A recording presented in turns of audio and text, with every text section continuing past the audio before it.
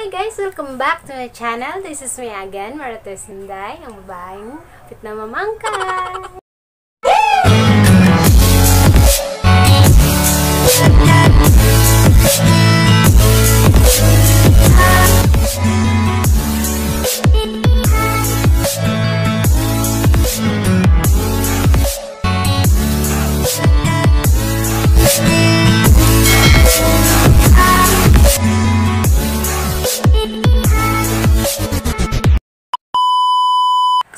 Today's video, ang aking gagawin ay ang aking skincare routine gamit ang aking Pamela.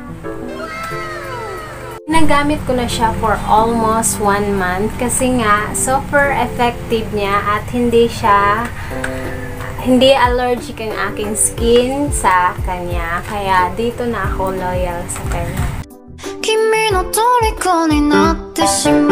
So, nabibili ko lang to sa kaibigan ko kasi naging dealer siya ng Pamela sa amin. So, nabili ko lang to ng 200 ang ime ng mga motor. So, nabili ko lang to ng 250 sa kanya. Shoutout pala sa akong maninay nga kabuyon. Doon dyan kabaral. Meron siyang sabon, toner, at saka sunblock at bleaching cream.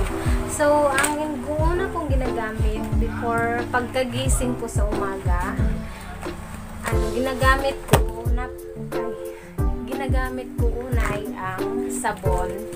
So, ganito kalaki yung sabon niya. Ganito kalaki yung sabon. Then, pagkagamit ko, ginaganito ko siya. Hinahati-hati ko kasi nga nakam- para mas nakakatipid. Kasi kung buuin ko siya gamitin, mas madali siyang naubos. Compare pag ganituin siya is nakaka, mas tumatagal siya na mas tipid sa paggamit.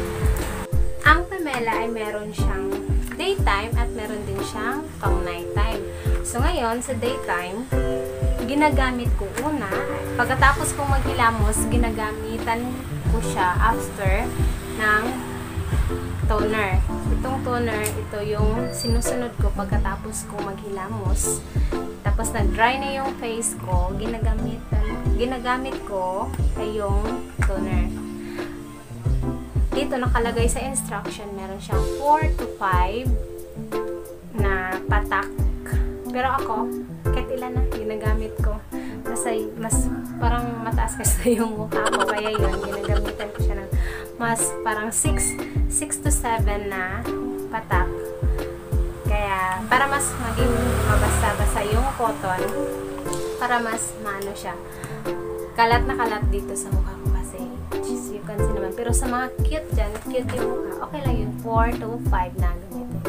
So, una, ginagamit ko siya sa huwag niyo lang pag nag-apply kayo, huwag niyo lang masyadong didiinan yung pag pag maglagay na kayo.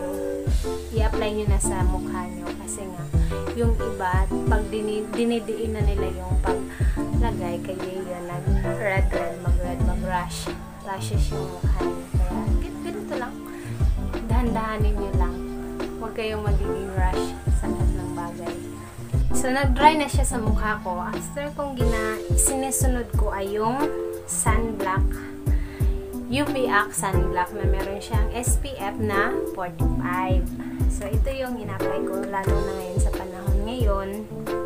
Sobrang init kaya ma ako din nadamihan ko yung paglagay ng sunblock sa mukha ko. Especially dito sa noo kasi sa noo ko dito talaga diretso kasi Airport yan ako. Malaki yan. diretso yung sinag ng araw, yung sikat ng araw. Diyan talaga diretso. Tapos ngayon, nakaano man tayo pag nakalabas, naka face mask or face shield. So, ma- parang natatakpan lang yung banda sa baba compare sa taas. Kaya nga, dito, mas dinadamihan ko paglagay ng sunblock. Gumagamit ako ng Pamela kasi nga ang itim-itim ko dati super kasi prone ako sa init kasi sa bukid alam niyo naman yung mga trabaho doon nangunguha ng mga kahoy kung ano-ano pang gawain na na sa init talaga. Kaya ito, mas maganda to siyang gawin. Pero kung kung mag-try kayo tapos mag-ano man yung mukha nyo, hindi siya compatible sa product na ito, huwag nyo na lang ituloy. Kasi nga, kanya-kanya yung level ng ating skin. Hindi yan magkapareho.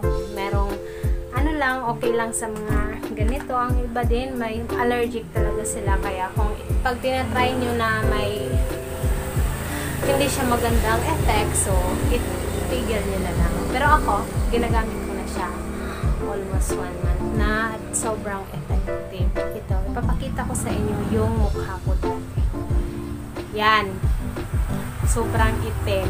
Sobrang itim kasi nga, prone talaga ako sa init noon.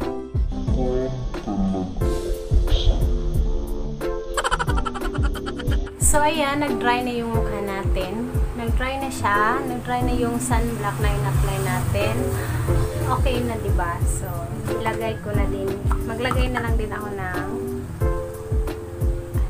mm, clay blush sa lips para okay na siya. Para ka na ding naka-makeup.